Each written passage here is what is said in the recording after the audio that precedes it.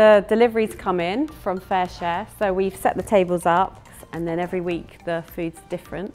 So we've had lots of ready meals from chefs. Different groups will come and some will take meals for um, families, for homeless people. Um, we've got churches, we've got soup kitchens.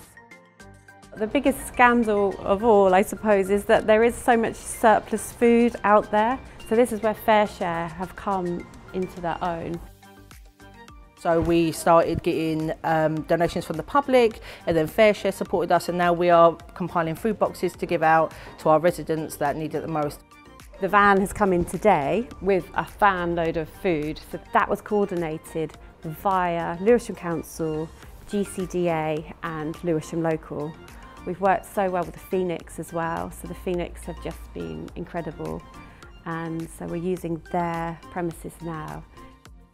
So first year came back, Olivia contacted us, um, who, I, who I hadn't met, but she just sent an email saying, this is what we're looking to do, is there any way you could help? And then we were put in contact with Laura and, and she was taking care of the delivery, but they needed help delivering it out to various food hubs. On a Tuesday, uh, the delivery will turn up. Bob and Dan will help remove all the food. It it's, goes into this room here. Laura sorts it all out with, generally with her daughters um, who are helping her, which is great. Um, and then Bob and Dan will then take them out to five sites normally within the borough. And, and then Friday they do the same. So it's, it's sort of, we've got a nice system going, it works well.